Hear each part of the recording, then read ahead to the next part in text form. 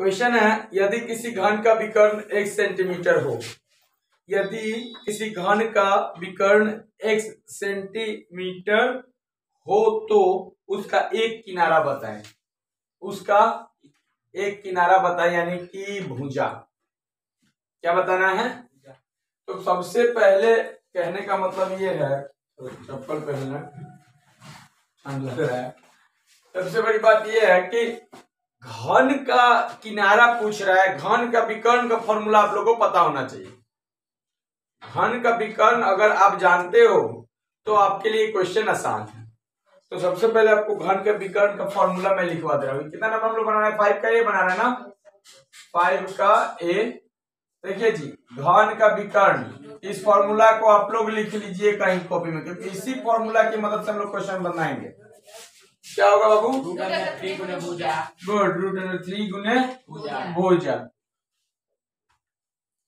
इसी फॉर्मूला के आधार पे। क्वेश्चन देखिए क्या कहता है। कहता है यदि किसी घन का विकर्ण एक सेंटीमीटर लिख लीजिए यहाँ पे घन का विकर्ण एक्स सेंटीमीटर घन का विकर्ण दिया हुआ है। घन का विकर्ण कितना हुआ है? एक सेंटीमीटर। तो घन का विकर्ण एक सेंटीमीटर तो उसका किनारा बताए। क्या बताना है बाबू? किनारा। किनारा। या किनारा को हम क्या कहेंगे? भुजा। किनारा बताएँ या भुजा बताएँ। आप इस फॉर्मूला को यहाँ रख रख दो। घन इस फॉर्मूला को लिख लीजिएगा और याद कर लीजिएगा। घन का विकर्ण। फॉर्मूला क्या आता है बताइए तो जरा। रूट अंडर थ्री गुने भुजा। भुजा। अब बताइए विकर्ण कितना है? X centimetre. यहाँ लिख दीजिए। और रूट थ्री इंटू। आपको मैं एक्स का मान निकालते समय कितना बार बताया हूँ। जब कोई नंबर इधर गुना करे तो दूसरे तरफ़ हम जब उसको ट्रांसपोज करेंगे भेजेंगे तो क्या होता है? भाग करेगा। भाग करेगा। तो यहाँ पे हो जाएगा भुजा बराबर डिसिम्प्लाई एक्स बटा रूट थ्री क्या हो जाएगा भुजा बराबर? एक्स बटा रूट थ्री सेंटीमीटर आंसर मिला लीजिएगा लोग देख लीजिएगा लोग। है? लिख लीजिए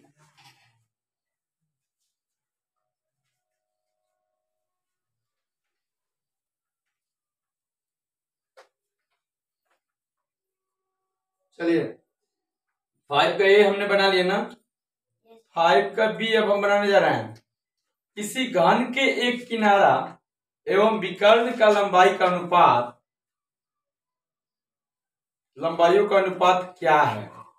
किसी घन का एक किनारा और विकर्ण के लंबाइयों का अनुपात क्या है? तो पहले तो जो दिया गया है उसे आप लिखो। फाइव का बी फाइव का बी घन का किनारा। क्वेश्चन क्या बोला? कि किसी हम्म, यदि किसी घन का किनारा ना ना नहीं तो बन गया। किसी घन के किनारे एवं विकर्ण के लंबाइयों का अनुपात क्या है? तो घन के किनारे एवं विकर्ण के लंबाई देखिए दिया नहीं है कुछ। ना तो घन का किनारा दिया है इसमें और ना ही विकर्ण का लंबाई दिया है। लेकिन पूछ रहे भाई इसका अनुपात क्या होगा? अनुपात। अनुपात तो आप लोग पढ़े होगे रेशियो। रेशियो को कैसे हम डिनोट करते हैं? ए इज़ टू बी कहने का मतलब अगर फ्रैक्शन में ए बाई बी लिखा है तो इसी को हम ऐसे लिख देते हैं। ए इज़ टू अगर मान लीजिए यहाँ पे फोर बाई फाइव लिखा है तो इसको हम रेशियो में कैसे लिख देंगे बाबू? फोर इज़ टू फाइव ये अनुपात का मतलब आपको समझ में आ गया? अब जो जो दिया है ना, उसे आप लिखते चलो।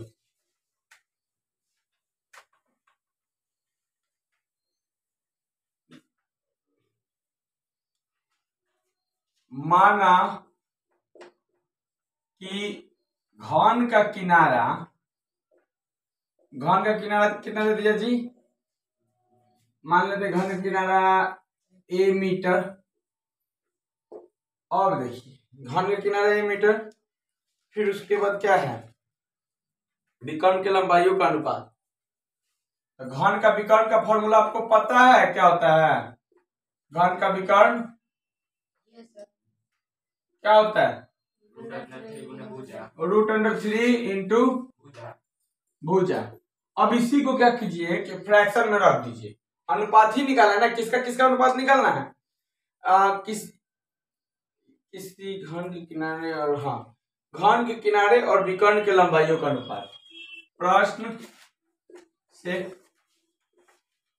प्रश्न से लिख दीजिए प्रश्नानुसार लिख दीजिए। इसका मतलब यही कि जो प्रश्न कर रहे हैं हम उसी के आधार पे चल रहे हैं। अनुपात हमको बताना है। क्या बताना है बाबू? किसका किसका अनुपात बताना है? घन का किनारा। और क्या बताना है? घन का विकर्ण।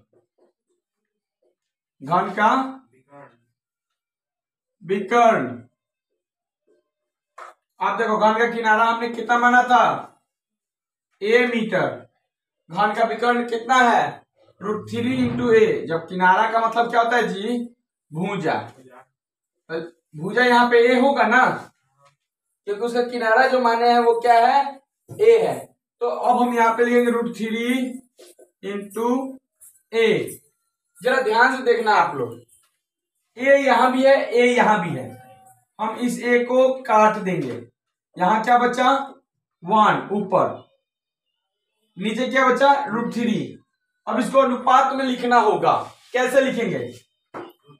One is to root three एक अनुपात रूट थ्री ऐसा आंसर है क्या? ऑप्शन में दिख रहा है। कौन सा ऑप्शन है? टू नंबर ऑप्शन है। सेकंड नंबर ऑप्शन लिख लीजिए इसे कॉपी में। आंसर में मिला लीजिएगा।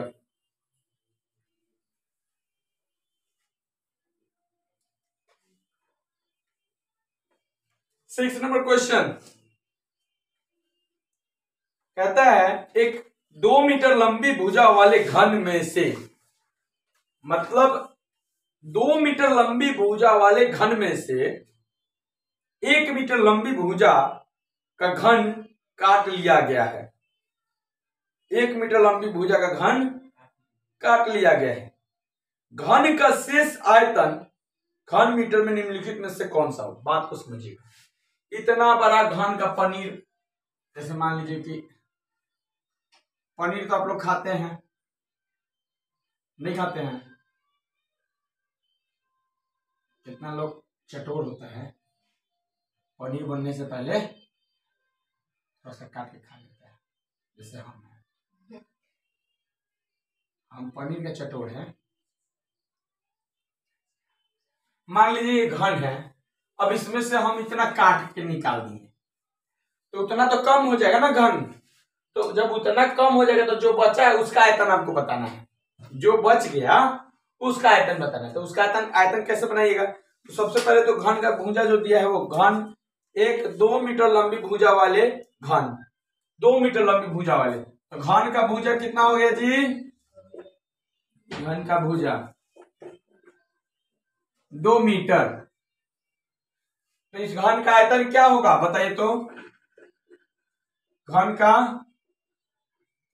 आयतन फॉर्मूला होता है भुजा क्यूब। क्या फॉर्मूला होता है? भुजा क्यूब। घन का आयतन भुजा क्यूब। यानी कि दो का आपको क्यूब करना है। दो का क्यूब कीजिए तो दो दूना चार चार दूना आठ मीटर क्यूब। हो गया ना? एक और घन का भुजा है उसमें से एक मीटर भुजा वाला घन काट के निकाल के साइड कर देना है। तो भाई, घन का भुजा फिर एक नया आपका बनेगा। घन का भुजा एक मीटर। अब आपको इसका आयतन निकालना है। तो घन का आयतन का फॉर्मूला आपको पता है क्या होता है? भुजा क्यू भुजा क्यूब तो वन का क्यूब कीजिएगा? तो वन को तीन बार गुना कीजिएगा तो क्या रिज़ल्ट आएगा? वन ही आएगा ना? यानी वन मीटर क्यूब उसमें से घन निकाल दिया गया। तो क्या क्वेश्चन बोला है? बोला है, घन का शेष आयतन घन मीटर में निम्नलिखित में से कौन सा है? तो घन का शेष आयतन क्या होगा? घन का शेष आयतन। तो जो बड़का घन है, उसमें से छोटका घन को घटा लेंगे। क्लियर समझ में आ रहा है ना? तो यानी एट में से वन घटाइएगा तो कितना आ जाएगा? सेवन मीटर क्यूब सभी लोग को समझ में आ गया। आ गया तो लिख लीजिए।